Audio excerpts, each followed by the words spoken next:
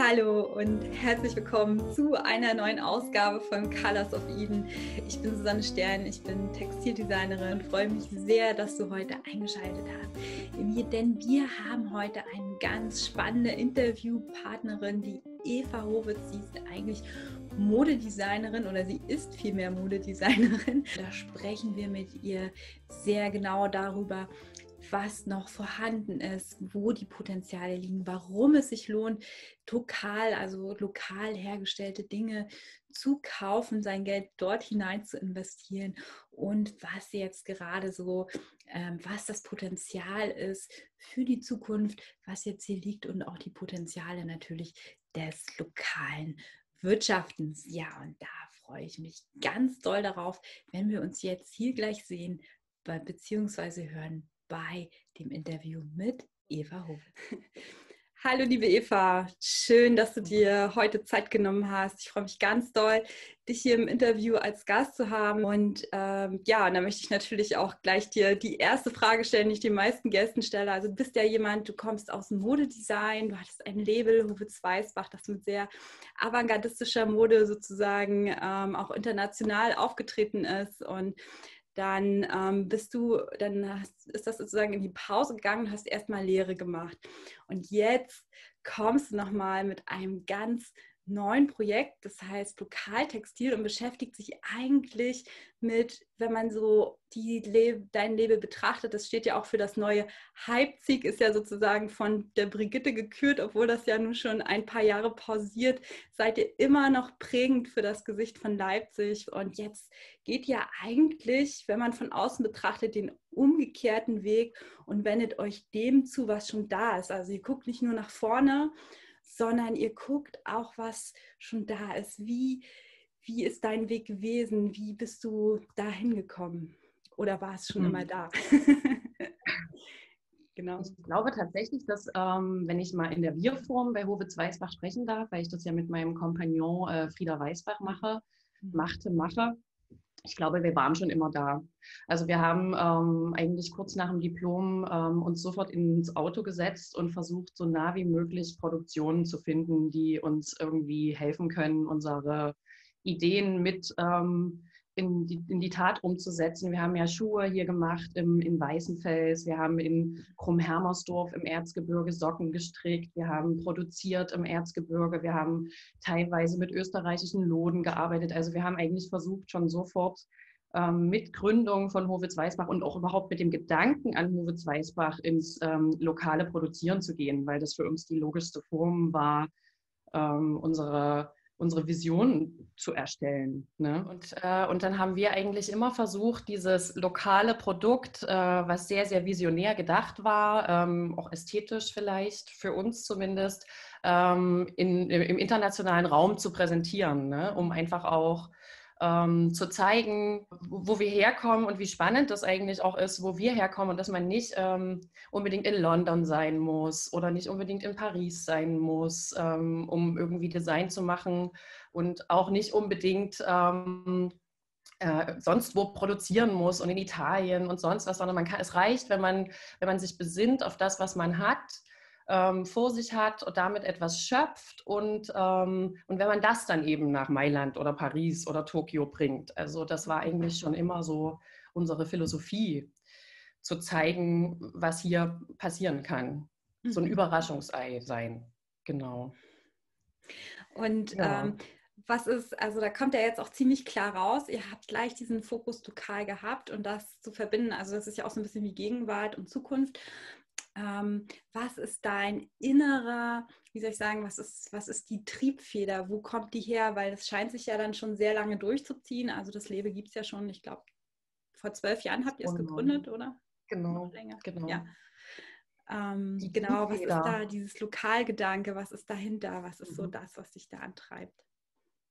Ich, ich glaube, ähm, es ist immer faszinierend für mich gewesen. Also für mich ist alles, äh, alles ähm, extravagant ähm, aus, äh, aus Deutschland entfernte auch total spannend. Ne? Also für mich ist das internationale ähm, genauso reizvoll und ich habe da totale Bedürfnisse, mich darüber zu informieren. Aber was mich so äh, immer wieder interessiert hat und was uns immer wieder so überrascht hat, ist, dass wir eigentlich gar nicht so weit gehen müssen, um auch ähm, bewundernswertes, verwunderndes oder ähm, wundervolles zu finden. Also weil das einfach ähm, weil, weil es sozusagen vielleicht auch sowas gibt wie einen Lokalexotismus. Ähm, wir kennen ja vielleicht, kennst du diese Sendung, die, der Letzte seiner Art oder die Letzte mhm. ihrer Art? Mhm. Also es gibt, äh, es gibt einfach ähm, überall äh, Dinge zu entdecken und das ist, glaube ich, das, was uns mhm. antreibt. Und wir haben ja in Leipzig das Glück, äh, eine wahnsinnige Textilindustrie und eine wahnsinnige Textilgeschichte vor der Haustür zu haben. Ne? Also das ist eigentlich so eine Art Pool-Position, aus der man starten kann. Das ähm, würde ich sagen, ähm, gibt es, ähm, was weiß ich, in Reutlingen und so weiter, in Bocholt, das gibt es da auch. Mhm. Aber wir haben das hier ganz intensiv, weil wir fahren tatsächlich nur eine halbe Stunde und sind in ganz, ganz vielen verschiedenen ähm, Produktionen und Firmierungen ne? und, und können uns ansehen, wie Dinge passieren. Mhm. Und ähm, das, also das fasziniert mich schon immer. Das ist halt so ein Forscherding. Ne? Also das interessiert mich einfach, wie eine Socke ähm, gemacht wird, wie die Maschine dazu aussieht, wie, ja, mich interessiert einfach dieser ganze Prozess. Also das war, glaube ich, schon immer so. Ja. Ja, wow. Und äh, diese Faszination, jetzt haben wir schon von Lokaltextil gesprochen, diese Faszination, die dich schon so lange begleitet, die habt ihr jetzt sozusagen wie in eine, ich kann es noch gar nicht beschreiben, Organisation gegossen, das jetzt diesen mhm. Namen trägt. Willst du vielleicht ganz kurz mal erzählen? Also ich weiß, dass ihr zu viert seid, ich weiß, dass ihr viele spannende Projekte habt. Was ist der Kern eures Schaffens? Genau. Also was ich glaube ich wichtig finde, ist, um ähm, auch zu Lokaltextil zu kommen, ist, dass ich ähm, nicht nur Lehre gemacht habe äh, dazwischen, sondern eigentlich auch ganz, ganz viel ähm, selber so Feldforschung, kann man sagen, dass ich auch selber ganz, ganz viel rumgereist bin in ähm, der Umgebung, um meinen Auszubildenden, aber auch mir äh, zu zeigen, was es hier so gibt. Ne? Ich glaube, das gehört auch dazu, ähm, warum das erst so gewachsen ist, zu dem, was davor war weil da gehört ein ganz wichtiger Ausflug dazu, der ähm, in die historische Schauweberei in Braunsdorf geführt hat. Das ist in, in Niederwiesa, Braunsdorf-Niederwiesa, das ist bei Chemnitz. Man kann da sogar mit der Straßenbahn aus dem Hauptbahnhof hinfahren. Und äh, in diesem Niederwiesa ist eben die historische Schauweberei. Und die habe ich besucht mit drei oder vier Auszubildenden und das war ganz, ganz krass, weil erstens diese Maschinen, die da stehen, ähm, mir die Tränen in die Augen getrieben haben, was ich niemals gedacht habe. Ne? Also so ein Jacquard-Webstuhl, mhm. mechanisch, Buckskin, Schönherr. Also das hat mich irgendwie ähm, ergriffen und das habe ich nie gewusst, dass mich sowas so ergreift. Ne? Ich habe eigentlich, also manchmal bin ich nicht so menschenfreundlich und in dem Moment habe ich aber plötzlich wieder so eine Menschenfreundlichkeit gehabt und dachte so krass, das können Menschen das haben Menschen gemacht und da kommt dann so ein Stoff raus, eine Biedermeier-Muster und so weiter. Und das war für mich ein, ein, ganz neuralgischer Punkt, also so ein Kippungs-, so ein Kulminationspunkt. Und dann haben wir noch. Und du meinst genau. auch mit, ähm, mit nicht so menschenfreundlich, dass du keine Menschen magst, sondern dass du eher manchmal vor dem, was die Menschen erschaffen haben, das glaube ich, meinst du, ne? Mit genau, ja, ja. Das, ich habe so eine, eine, gewisse Menschenfurcht auch, würde ich vielleicht sagen. Ne? Also das ist auch manchmal so ein ein bisschen unangenehmes Gefühl. Aber da habe ich das Gefühl ähm, anders gehabt plötzlich. Und dann was hat das in dir ausgelöst? Was, was für ein Wunsch, was für ein, was für ein, äh, was für ein Such, was für ein Suchauftrag, was für eine genau. Mission hat es in dir ausgelöst, Eva? Na, das hat ähm, eigentlich äh, nichts anderes ausgelöst als, oh mein Gott, ich muss das Menschen zeigen. Ich muss das, ich muss das Gefühl auslösen bei anderen, um ähm, diese Schönheit und diese Erhabenheit auch einer Maschine Mhm. Ähm, die aber wirklich noch was mit Menschen zu tun hat, ähm, zu zeigen, weil das ja auch ein, ein, rein humanistischer Akt war, diese Maschinen zu entwickeln von ähm, Joseph Maria Jacquard. Ne? Also das ist ja, er hat einfach versucht, Kinderarbeit damit zu verhindern, ne? weil die, ähm, wie hießen die, die äh, Zempeljungen oder so, auf, äh, die da die Fäden gezogen haben? Ich weiß es tatsächlich auch nicht so genau, aber ich kenne diese historischen Aufnahmen, die einem genau. so ein genau. bisschen den Atem stocken lässt. Genau, die sind dabei verstorben, ganz viele Kinder. Ne? Also ähm, die in Webereien in Frankreich, in Lyon, ähm, da ähm, die Fäden gezogen haben, also um die Muster zu erzeugen. Und das hat er versucht zu verhindern, weil er selber so ein Junge war, der oben äh, in zweieinhalb, drei Meter Höhe saß und die Fäden gezogen hat. Und das ist, finde ich, also diese ganze Geschichte, dann, dass er eigentlich der Erschaffer des binären Codes ist, ja, dieses ähm, äh, mhm. Nullen und Einsen und daraus kommt dann diese ähm, wirklich gestalterische Kraft auch. Das fand ich einfach, also weiß ich auch nicht. Das hat mich total gekriegt. Und dann ähm, bin ich mit den SchülerInnen da weiter rumgelaufen und dann hat uns die Museumsdirektorin noch ähm, ihr Archiv geöffnet und das war dann für mich so der Umkipppunkt. da war dann wirklich, da dachte ich dann so, jetzt, das kann nie wahr sein, das ist zu krass. Was habt ihr da ähm, gesehen? Diese Bücher genau. bestimmt, ne? Die alten Musterbücher. Wir haben die Musterbücher gesehen, mhm. genau. Und wir haben unter anderem mh, hm, ein ganz bestimmtes Muster gesehen. Und zwar ein, äh, ich kann es leider jetzt nicht zeigen, aber es ist ein äh, Gobelin also ein Jacquard-Gewebe, ein Wald. Ein Wald in mannigfachen Farben, also unfassbar. Mhm. Und das Muster stammte äh, von 1900, also 1900. Es war ein Polsterstoff, ganz, ganz fest und schön gewebt. Ganz aktuell trotzdem, so von der Optik, ganz, mhm. also Wahnsinn. Und dazu gab es eine Patrone, also das heißt, ähm, vor der Lochkarte wird ja die Patrone erstellt, um zu wissen, wo wir schlagen, sozusagen auf die Karte. Und die war da alles koloriert in Pixeln und dazu waren noch die Vorzeichnungen, also die Musterzeichnungen da. Und das war alles, der ganze Prozess lag da mit Stoff und dann oben diese Maschinen. Mhm. Und das, das war krass. Also das hat einfach bei mir was gemacht. Ne? Und dann habe ich ähm, da eine Ausstellung gemacht mit einer ähm, Freundin und auch äh, Kollegin einer Kunstvermittlerin ähm, oder der Kunstvermittlerin aus der Galerie für zeitgenössische Kunst in Leipzig. Ja, auch eine Partnerin von, also von Lokaltextil genau. ist. genau, sie ist jetzt Mitinitiatorin. Mhm. Genau, und wir haben, ähm, ich habe sie dahin äh, geholt und wir haben ähm, uns sofort vom Fleck weg dann ein Projekt ausgedacht, weil das einfach zu, äh, es war auch für sie so, ne? Also das war gut, dass ich das Gefühl hatte, ich konnte das weitergeben.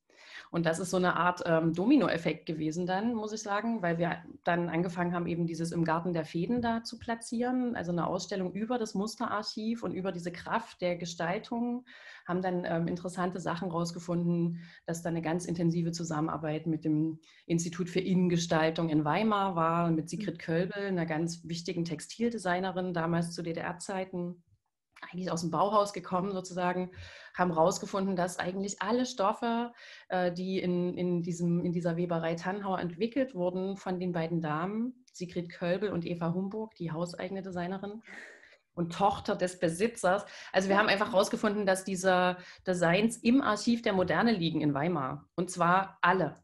Und das wusste aber keiner, dass das ähm, miteinander zu tun hat. Also es gab den Verweis, dass es dort gewebt wurde, aber dass es zwei Designerinnen waren, eben Sigrid Kölbe und Eva Homburg, ähm, das wusste keiner. Und da haben die auch im Archiv der Moderne ganz merkwürdig geguckt, dann als wir denen das erzählt haben und auch wirklich Unterlagen mit hatten. Und ähm, ja, das ist unsere, unsere Verneigung sozusagen eigentlich auch vor diesem kreativen Potenzial dieser GestalterInnen. Ne? Und zeitlos, ohne Ende, wirklich eine, eine Kraft. Ne? Das ist und ich glaube, das war wirklich so, ähm, das war dann nochmal so der Anstoß, ähm, das noch intensiver ähm, zu verfolgen. Und auch, das ist natürlich ein toller Schauplatz, so ein, so ein Museum oder, oder auch so ein Archiv oder überhaupt ähm, Gewebe sind ein ganz, ganz tolles, ähm, eine ganz tolle Grundlage, um Kulturgeschichte zu erklären, mhm. finde ich. Ne? Also mhm. weil mhm. das, äh, wir, wir leben als Menschen in einem textilen Umfeld und wir, mhm. wir wachsen mit Textilien auf und ähm, das einfach so hinzunehmen, ist eigentlich kaum möglich, ne? weil das ist wirklich, also die Kraft, die da drin steckt, ist einfach unfassbar. Und das ist so, also das ist irgendwie der Transporter auch für mich und für Lena, für Frieda, für Markus, die wir alle arbeiten in Lokaltextiluniversen, so der, die Triebfeder. Ne? So vielleicht ist das, äh, das, das ganz gut, was das zusammenfasst, was Lokaltextil ist, ne? was, das, was, der, was die Claims sind ne? oder was, die, was der Inhalt ist, der Kern, wie du sagst. Also einfach dieses, guckt genau hin, was es hier gibt. Wir zeigen euch das Ihr könnt euch über uns informieren. Wir zeigen euch die Kuriositäten, aber auch die gestalterische Kraft. Und wir mhm. machen das ernsthaft, aber auch ähm, lebendig. Ne? Mhm. Guckt euch das an, nutzt es für euch. Also wenn ihr irgendetwas ähm, machen möchtet mit Textil, kommt zu uns. Wir consulten euch, wir machen irgendwas zusammen. Wir, wir, können, wir können hier wahnsinnig viel machen und vielleicht, ähm, ja, wie, wie, denkt drüber nach, wie wir das in die Zukunft kriegen. Ne? Also lasst es uns retten. Vielleicht ist es Ne? Wie kann man so etwas oder ähm, wie, wie siehst du das? Wie kann man das, das ist ja auch dein innerer Auftrag, dieses, dieses sehr stark in die Zukunft gehende, wie ist deine Idee, das jetzt in die Gegenwart, diese zwei Dinge zu vereinen? Na, ganz, äh, ganz wichtig ähm, ist immer, finde ich, ähm, dass Menschen nicht aufhören, äh, Dinge, die schön sind und gut gemacht sind und ästhetisch sind und ähm, wertig sind, zu lieben. Ich glaube, das ist so ein Hunger, den es gibt, mhm. ein Haptikhunger auch. Und ich glaube, dass ähm, vieles, was war, niemals so viel Aufmerksamkeit bekommen hat, wie es vielleicht verdient hat, um auch im Heute noch zu sein. Also ich glaube, es wurde vieles vergessen. Also, oder vieles vielleicht zugunsten von, ähm, von einem kapitalistischen Wachstumsnarrativ einfach beiseite gelegt. Mhm. Das, das denke ich in jedem Fall. Und ähm, eine Idee, äh, nur eine, das ist nur eine von tausend, würde ich sagen, Ideen. Aber eine ist zum Beispiel, wir haben ja dieses, äh, was ich gesagt habe, Musterarchiv in der historischen Schauweberei und ähm, da sind eben alle Lochkarten da. Also es gibt wow. eine Lochkartenbibliothek. Ob alle da sind, weiß ich nicht, aber es wurden mhm. ungefähr 3000 oder mehr Musterentwicklungen in der Weberei selber ähm, äh, gefertigt oder äh, durchgeführt und Musterentwicklung in einer Weberei, das ist gar nicht so typisch. Es wurde eigentlich ausgelagert, aber in dieser Weberei ist das passiert, was eben auch, und die wurden nicht weggeworfen. Also sowohl die Patronen als auch die Musterzeichnungen. Sag noch mal ganz kurz, also mhm. ich möchte es dir nicht vorwegnehmen. Sag mal in, in kurzen Sätzen, was ist eine Patrone? Äh, beziehungsweise ja. Musterzeichnung, Patrone und eine Lochkarte. Was ist der genau. Schatz dahinter, dass das noch existiert und was ist das überhaupt? Vielleicht kann man es, äh, vielleicht fangen wir so rum an. Ich war ähm, in Neukirch in der Leinweberei. Dort sagte mir der Chef, Herr mhm. Ruther, eine Musterentwicklung in einer Leinweberei für einen Jacquard-Webstuhl mit, also in, in, in, dieser Weberei kostet circa, und da sind wir noch nicht bei der Produktion, 5000 Euro. Mhm. 5000 Euro. Und wir haben in dieser historischen Schauweberei ähm, alles, was bis zu diesem Punkt passieren muss, um zu weben. Ja, also das ist alles noch da. Es wurde nicht entsorgt. Das heißt, es gibt eine Musterzeichnung zu dem Stoff. Das bedeutet eine Vorzeichnung, ja, ein Entwurf. Farb, mhm. Farblich sieht man da äh, Dinge. Man sieht, ähm, man, äh, im Prinzip sieht man exakt das Stück, was dann in Muster geht, äh, Rapport sozusagen, ne, rapportiert wird, ähm, als also Grundlage. wird, ne? Genau, genau. genau. Mhm. Und ähm, es sind eigentlich ähm, tatsächlich eigentlich eigenständige Kunstwerke, die wir da haben. Also es sind teilweise Pastellzeichnungen, also wirklich Wahnsinn. Und dann äh, haben wir aber zudem noch die sozusagen technisiert gedachte ähm, Patronenzeichnungen. Das heißt, ähm, das aufgepixelte, wo hebt sich der Faden und wo senkt er sich nach einzelnen, ähm, ja, das sieht aus wie Millimeterpapier. Mhm. Ne? Mhm. Und ähm, es ist eben wirklich das Muster komplett durchkonstruiert da nicht in den Originalfarben, die kann man dann irgendwie nochmal sich ausdenken, sondern eben in den schematischen Farben. Und ähm, dann gibt es noch die Scherbriefe. Das heißt also, man weiß genau, äh, welche Kettfäden auf den Baum kommen und so weiter. Ähm, wie viel, welche Farbe. Und dann gibt es die Karte, die geschlagen wird nach der Patrone. Die Karte, eine Lochkarte, ist immer eine Reihe ne, auf so einer Karte. Und so ein Muster äh, kann unterschiedlich viele Karten, die aneinander genäht werden, beinhalten. Also das ist sozusagen, die Lochkarte vermittelt, sagt dem Webstuhl, wie er das Muster generieren soll. Genau im Gewebe sozusagen. Genau. Ne? Lass mhm. die Kette unten, hebt die Kette an und welche dann, oder? Und das Spannende ist natürlich, dass das äh, tausende Ketten, Kettfäden sind, ne? In den, bei den Mustern. Ich mache mal kurz eine Bildschirmfreigabe. Ähm, warum glaubst du, ähm, ist es so, gibt es immer wieder Menschen, die sich so enorm mit der, ähm, also wie soll ich sagen, mit dieser Wahrung eines Schatzes auseinandersetzen. Was sehen Sie darin? Also es sind natürlich emotionale Anteile, aber was ist wirklich dieses Potenzial, das, das dort existiert und, und welchen Schatz können wir daraus immer wieder heben? Was ist mhm. das, was so faszinierend daran ist, beziehungsweise so wichtig daran ist? Also ich denke tatsächlich, dass das, ähm, wir kennen das, die Geschichte auch ästhetisch Sinuskurven schreibt, mhm. gestalterische Sinuskurven. Mhm. Und ich denke, ähm, wir haben da äh, 110, also sagen wir mal 100 Jahre Gestaltungsgeschichte in diesem Haus. Und ich denke, das als ähm, Inspiratorium für nachkommende Generationen, DesignerInnen, für ähm, aber auch äh, einfach Textilinteressierte, aber auch ähm, ganz äh, normale ähm, Konsumenten sozusagen von anderen Textilien, ist mhm. das eben, äh, das ist ein, ein, ein, unfassbarer Wert, der da, der da lagert, weil einfach ähm, die Vielschichtigkeit äh, klar wird. Ne? Also man lernt einfach, es ist ein bildendes, ähm, ästhetisches Anschauen. Also man wird die ganze Zeit mhm. Farb, also eigentlich gestalterisch gebildet. Ähm, jetzt befinden wir uns ja auch in einer Krise, was ja auch meistens bedeutet, es fallen, es fallen alte Dinge weg und dadurch entsteht wieder ein Nährboden für Neues. Und jetzt genau in dieser Zeit ähm, habt ihr sozusagen eure Seite ähm, veröffentlicht. Worin siehst du für Lokaltextil gerade jetzt auch Potenzial, ähm, um, um sozusagen, also das auch in der Neuzeit blühen zu sehen? Mhm. Na, ich denke, dass sich jetzt ganz, ganz viel entscheidet gerade. Ne? Mhm. Also gerade in der Textilindustrie ähm, entscheidet sich einfach, wer das hier durchhält und wer nicht. Ne?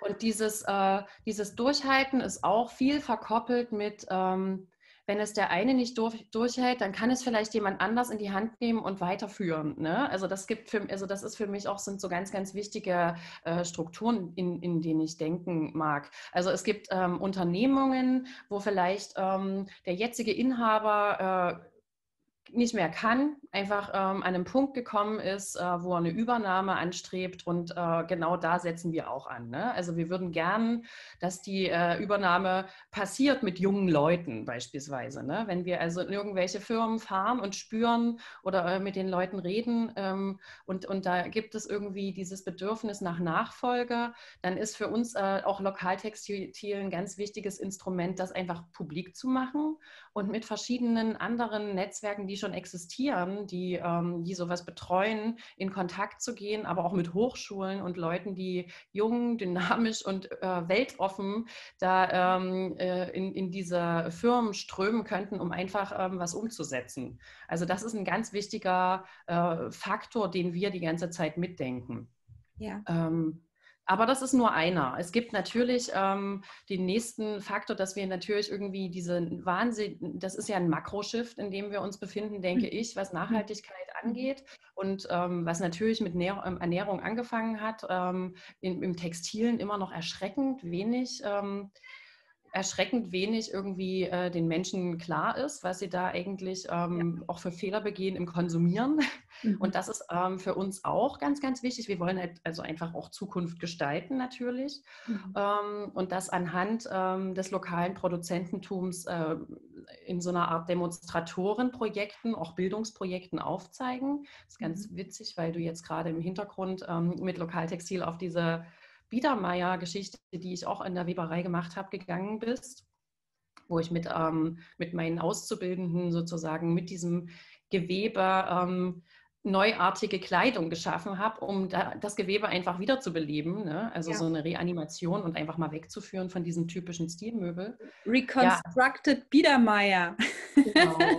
Reconstructed Biedermeier. Also das ist genau das, ähm, ja. äh, was ich meine, was wir eben auch mit Lokaltextil entwickeln. Und das sind ähm, Bildungsformate auf Basis dieses lokalen Produzententums. Und mhm. natürlich meine ich nicht nur Bildungsformate für schon Textil Be Be Bewissende oder Wissende sozusagen, sondern auch tatsächlich, weil das ist, denke ich, eine ganz, ganz wichtige äh, Gruppe von Bewusstwerdungsmenschen, die es braucht, nämlich Kindern. Also ich denke, ähm, dass es äh, ganz mhm. wichtig ist, bei, bei, Kindern anzusetzen, in einem gewissen Alter ähm, sie zu bilden, damit sie nicht mit 15, 14 äh, in dieser Kleidungs- und Kommunikationsphase, in der sie ihre Identität über Kleidung so krass auch formulieren, wo sie dann nicht zu Primark gehen, sondern weil sie gewisse Dinge gelernt haben, vielleicht sogar von uns gelernt haben, ähm, vielleicht unser Kinderbuch, was gerade entsteht, gelesen haben, einfach äh, dadurch ähm, äh, vielleicht kurz nachdenken, bevor Sie, genau, danke schön, genau, vielleicht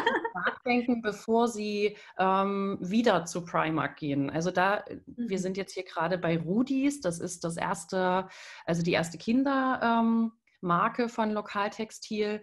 Hier geht es darum, Kindern, ähm, ähm, Heranwachsenden zu erklären, äh, wie, wie, komplex eigentlich ne, diese textilen Prozesse sind, äh, um mhm. zu einem so einfachen und simplen Kleidungsstück wie einem T-Shirt zu gelangen. Mhm. Ähm, das ist ja, wenn man für 1,99 bei Primark ein T-Shirt kauft, einfach unklar. Ne? Also das ist ja völlig ähm, losgekoppelt und dieses Bewusstsein zu fördern, einfach aufzuzeigen, das, was wir alle kennen, das, was wir alle haben, ähm, das braucht diese Schritte. Egal, ob ich 1,99 oder 30 Euro dafür bezahle, es braucht es immer. Ne? Mhm.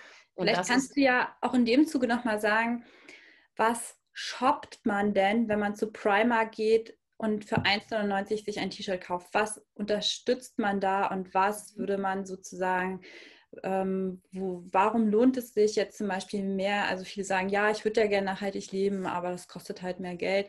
Ähm, aber vielleicht kannst du ja mal kurz aufzeigen, weil ich weiß, dass du dich damit intensiv ähm, beschäftigt hast innerhalb deiner Lehre, privat und auch natürlich im, ähm, im Zuge eures Labels, Hovis Weißbach. Ähm, was wofür gibt man denn sein Geld her? Was, was ist das Potenzial, wenn wir nachhaltig, beziehungsweise wenn wir eben nicht eine Klamotte in irgendwo, wo wir gar keine Ahnung haben, äh, produziert herkaufen für wenig Geld? Genau, also ich glaube, also man, man bezahlt immer, wenn man etwas bezahlt, einen Prozess. Aber den Prozess kennt eben keiner. Ne? Und das ist tatsächlich ein Problem. Das ist ähm, ein Problem bei äh, Heranwachsenden, bei Erwachsenen, bei Kindern, bei allen. Das ist ja das mhm. Erstaunliche, dass, dass, dass das Problem äh, so da ist. Ne? Bei einem Brot weiß man, weil man sich vorstellen kann, ähm, das Korn wächst bei uns vor der mhm. Haustür. Ich kann das malen in der Mühle. Die ist übrigens auch in Niederwieser, eine Mühle dann kann ich das nehmen wow. mit ein bisschen Wasser und, und ähm, äh, zusammen und dann kann ich das in den Ofen tun. Das ist, äh, das ist nachvollziehbar. Ja? Mhm. Bei einem Textil ähm, fehlt völlig äh, die Klarheit darüber, dass das ähm, eine Naturfaser, eine Chemiefaser, eine tierische Faser ist, die davor äh, steht, wie die gewachsen ist. Ja, das ist nicht wie beim Huhn und dem Ei, wo ich sehe, das Ei kommt aus dem Huhn. Auch mhm. das ist komplex, aber ich glaube, das ist eben noch extremer bei, einer, bei einem Kleidungsstück. Es ist wahnsinnig komplex. Dann, ähm, dass, dass eben immer, wie wir gesagt haben, Gestaltung damit zu tun hat. Ne? Also es ist immer ein Gestalter dran, egal ob das von Primer kommt oder nicht. Auch da ist ein Gestalter mit dran. Dann, ähm, dann muss man sich klar machen, äh, natürlich, wenn man jetzt ein Rudis T-Shirt beispielsweise kaufen würde, wir machen das ja jetzt als Demonstrator. Ähm, das Rudis T-Shirt ist sozusagen ähm, von vorne bis hinten, besucht das alles das wird besucht, wo das stattfindet. Ja, also wir können die Baumwollplantage leider nicht besuchen, ist aber GOTS zertifizierte Baumwolle.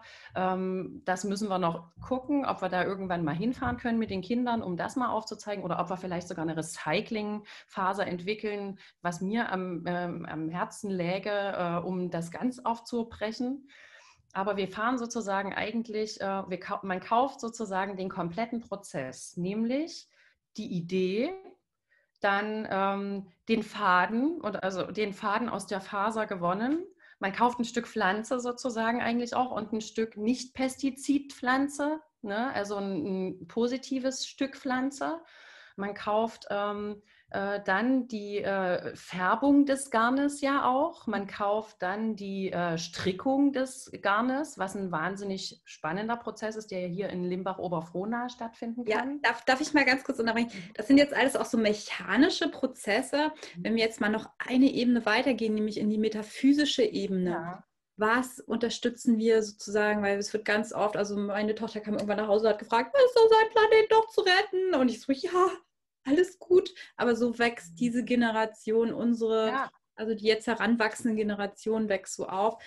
Ähm, was, was tun wir noch? Welche Macht haben wir als Konsumenten? Ähm, auch sozusagen auf einer, auf, auf einer ganz anderen Ebene ähm, ja. zu agieren, weil diese mechanischen Sachen, die, das wissen wir zum Glück jetzt immer mehr und was, mhm. was unterstützen wir noch? Mhm. Na, wir unterstützen ähm, in dem Moment natürlich auch ähm, eine Anti zu viel, ein Anti zu viel. Ne? Also wir, wir gehen sozusagen bewusst und achtsam äh, zum Produkt und greifen das, mhm. weil wir den ganzen Prozess kennen und weil wir die Situation natürlich kennen und mhm. fassen. Und wir unterstützen natürlich damit ähm, Menschen. Das finde genau. ich halt auch ganz, ganz wichtig. Ne? Also das ist ein ähm, Unterstützen von, ähm, von Menschen, die da dran stehen und damit zu tun haben. Und ähm, das ist fast schon, das könnte man ja auch als, Altru also es ist ein egoistischer Vorgang vielleicht sogar ein nachhaltiges T-Shirt zu kaufen. Ja, weil erstens fühle ich mich altruistisch, ich fühle mich gut dabei, weil ich jemanden anders unterstützt habe mhm. und ich lege mir was auf die Haut, was mich nicht vernichtet. Also im Prinzip ähm, ist ja so ein Primark-Shirt, sich auf die Haut zu legen, ein, ein Vernichten der, der, der, eigenen Körperlichkeit, weil die Haut als größtes Organ alles aufnimmt. Ne? Mhm. Und im Prinzip tue ich mir und anderen einen Gefallen. Mhm. Und ähm, sicherlich gebe ich dafür äh, viel, viel mehr Geld aus, aber ich das ist eben das, äh, das, was ich immer so krass finde, diese wahnsinnigen Beutel, diese riesen Beutel, die die Leute da überall mit rumschleppen, ne? was da alles, also die kaufen ja nicht ein T-Shirt, weil es cool ist, sondern sie kaufen irgendwie 30, um mal zu gucken, welches davon cool sein könnte. Und ich glaube, das ist wirklich so ein, äh, ja, man kauft sich vielleicht sogar Coolness. Ne? Wenn, man, wenn man sich ähm, für sich, für andere und die Prozesse und äh, die Ökologie entscheidet. Also mhm. das hat was mit, ähm, mit Coolness zu tun und mit ähm, das ist kein nihilistischer Punk-Ansatz sozusagen, sondern es ist eher ein achtsamer, ähm, mhm. rettender Ansatz. Also ich glaube tatsächlich auch, dass das die Hipness wird der Heranwachsenden, äh, also die jetzt vielleicht noch Kinder sind, ist ja sowieso schon, die jetzt Studenten sind, ist das eh eher cool, ähm, nachhaltig zu sein. Also ich würde jetzt, ich kann jetzt natürlich nicht für alle sprechen, aber mhm. ähm, Jetzt wissen wir auch, wenn wir für 1,99 ein T-Shirt kaufen, da haben die irgendwoher ganz viel, äh, ganz günstig eine Faser bekommen, haben das irgendwie geschafft, diese ganzen Zwischenhändler da irgendwelche Verträge zu machen. Also die leiden ja auch darunter. Und mhm. wer leidet eigentlich am allermeisten darunter, wenn man ein T-Shirt Fern, aus Fernost kauft, wer sitzt da eigentlich und muss, ähm, muss dafür sozusagen viel auf sich nehmen, dass wir hier so schön uns wie, weißt du, wie kurz vor der französischen Revolution hier wieder Adel aufführen äh, dürfen und ähm, ja. genau deswegen finde ich es auch so interessant mit Biedermeier. Danach kam ja das Biedermeier. Ähm, ähm, was, ähm, wer leidet da eigentlich am meisten darunter, wenn wir uns ein billiges T-Shirt kaufen? Naja, im, im Baumwollbereich müssen wir, ähm, wenn wir nach The True Cost gehen, natürlich den indischen Bauern ne, adressieren, der da am meisten leidet aufgrund mhm. von ähm, äh, Pestizidproblematiken und äh, Saatgutproblematiken. Das ist, denke ich, eine ganz, ganz wichtige äh, Sache, die man sich einfach klar machen muss. Mhm. Ja, also ich bringe eigentlich Menschen um damit. Mhm. Das ist jetzt ein bisschen sehr rapide gesagt, aber es ist vielleicht nicht sehr, äh, vielleicht ist es genau das. Ne? Und dann natürlich den Näher oder die Näherin. Und äh, da, wenn da das Kind ähm, unter der Nähmaschine liegt, dann ist das die Realität, weil es sonst nirgends anders hin kann. Ja? Und ähm, trotzdem nur 40 Dollar im Monat verdient werden. Das sind die Leute, die, die wir äh, kaputt machen, ganz genau. Ganz genau, ne? weil ähm, das, das finde ich nämlich ähm, bei euch so spannend. Also ich weiß ja, dein Partner Frieda und äh, Studienfreund und immer noch äh, guter Freund, der ähm, hat ja jetzt ein, ihr habt ja wirklich nicht nur, ihr erzählt ja nicht nur, sondern ihr macht ja auch. Also ihr habt sowieso in, im Erzgebirge produzieren lassen und Frieda hat jetzt diese ähm, also dieses Unternehmen auch gekauft und, oh, ja, ähm, und, und, und legt dadurch ja auch direkt Hand an. Und das ist ja etwas, also vielleicht möchtest du ja noch dazu was sagen. Was ist denn das Potenzial, wenn wir hier einkaufen, äh, lokal oder wenn wir bewusst einkaufen? Na, das ist ähm, das Potenzial ist, dass wir eigentlich schützen. Ne?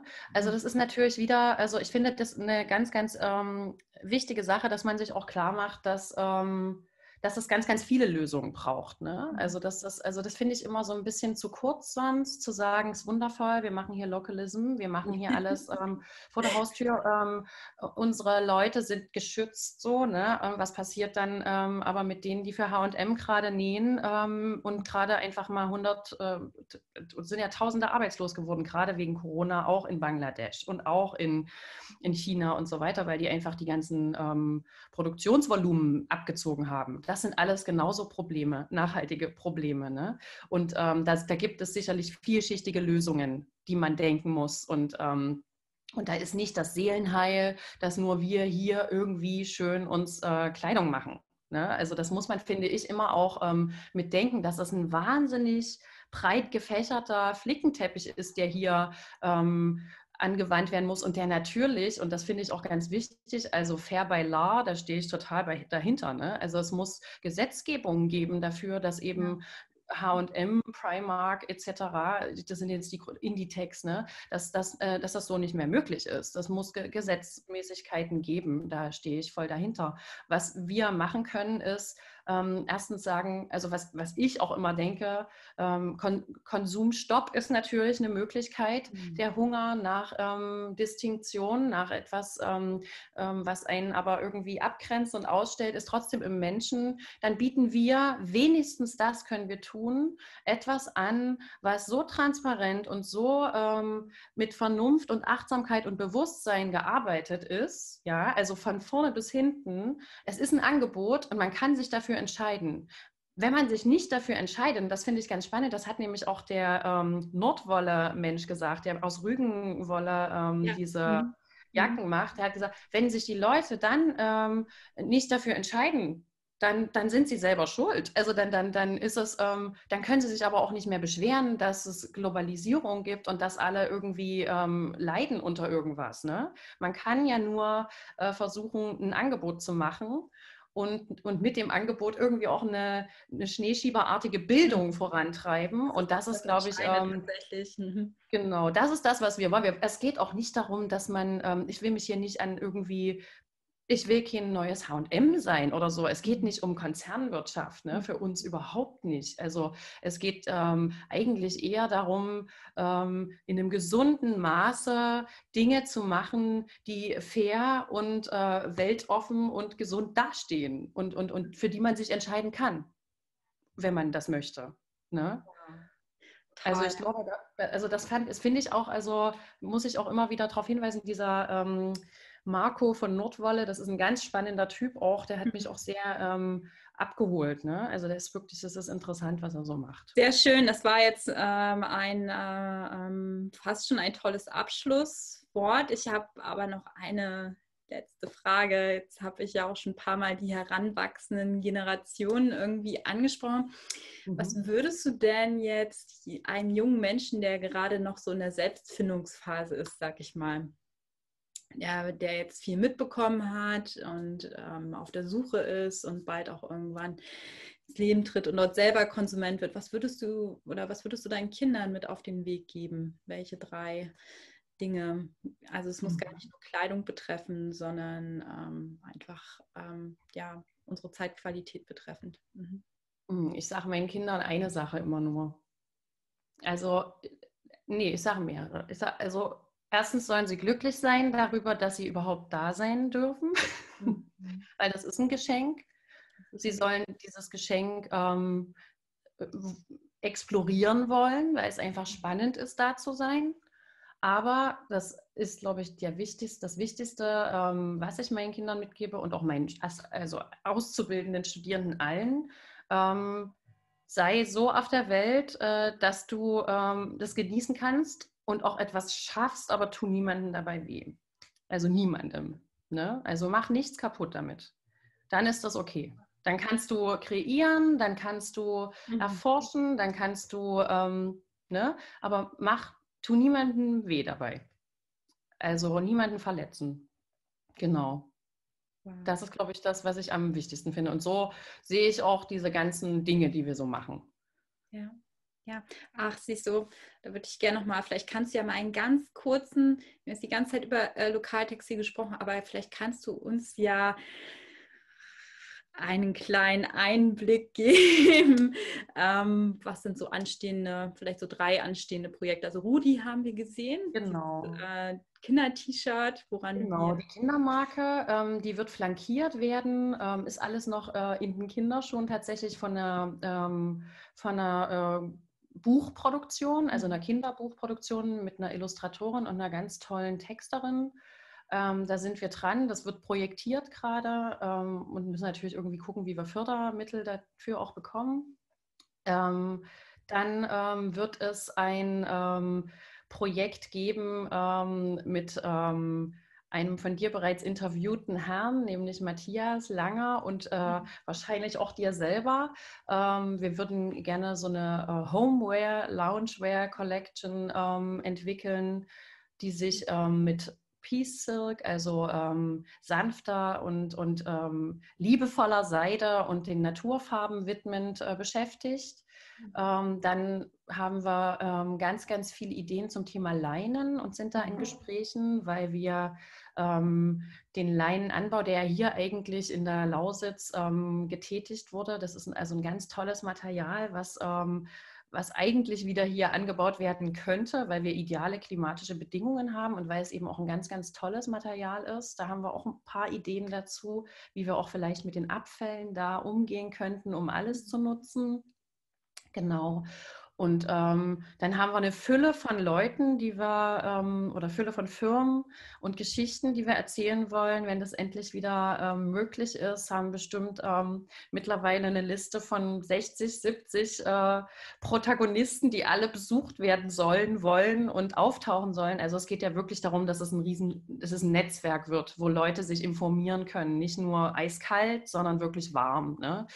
Also das, was wir international kennen, vielleicht von The Kind Craft, ne, dieses warme, ähm, schöne, wo du ja selber auch auftauchst, ähm, aber eben für hier, also für unseren Raum, dass wir das einfach alles mal zeigen. Genau, das sind so Sachen, die wir planen. Und wow. ja, noch ein paar andere auch. Noch ein Ausstellungskonzept, was ich im Kopf habe, ähm, was mit, der, mit den Musterzeichnungen auch zu tun hat in der historischen Schauweberei, wo ich gerade drüber nachdenke, wie ich in Chemnitz in die Kunstsammlung oder auch in die sächsischen Kunstsammlungen da reinkommen könnte mit der Idee. Ja, so eine Sachen. Ganz, ganz viel eigentlich. Ja. Toll. Hm. Also es lohnt sich, ähm, euch zu beobachten. Ich werde in die Show Notes halt auf jeden Fall eure Seite und natürlich auch zu der Schauweberei und vielleicht magst du ja auch noch ein paar Links zu lokalen Firmen, dass wir überhaupt erstmal wissen. Also für ja. die, sagen, ach echt, es gibt noch so viel hier. Ich dachte, das wäre schon alles eingestampft und nach China und äh, anderen asiatischen Ländern. Vielleicht kannst du ja auch noch mal eine kleine Liste geben mhm. an äh, lokalen, wirklich sehens, also lokalen sehenswerten Unternehmen. Genau, das mache ich auf jeden Fall. Ja. Schön. Sehr schön. Danke, liebe Eva. Es war ein sehr spannendes Interview. Und äh, ja, und ähm, ich und ich denke, ich spreche jetzt auch im Namen aller Zuhörer, wünschen euch alles, äh, alles Gute und Full Power für die ja, nächsten danke. Projekte. Das, äh, die ist auf jeden Fall da, die Kraft, ne? Das ist das Schöne. Mhm. Ein tolles Thema einfach. Bis dann. Tschüss. Ich hoffe, dir hat diese Folge gefallen. Ich hoffe, du konntest einiges damit äh, mitnehmen, viele Denkanstöße, denn es ist ja super spannend, wenn man sich mal anguckt, welches Potenzial, welchen Schatz wir hier noch in unserer Umgebung haben. Und wenn dich das weiter interessiert, dann schau doch mal hier in die Show Notes und wenn dir die Folge gefallen hat, dann gib mir doch einen Daumen nach oben bzw. abonniere den Kanal, denn ich lade hier regelmäßig tolle Videos hoch zum Thema Naturfarbstoffe und mit und Interviews mit weiteren tollen, interessanten Gästen aus dem Bereich Textil und Nachhaltigkeit. Und da freue ich mich ganz doll, wenn wir uns bei einer neuen Ausgabe hier wiedersehen bei Colors of Eden.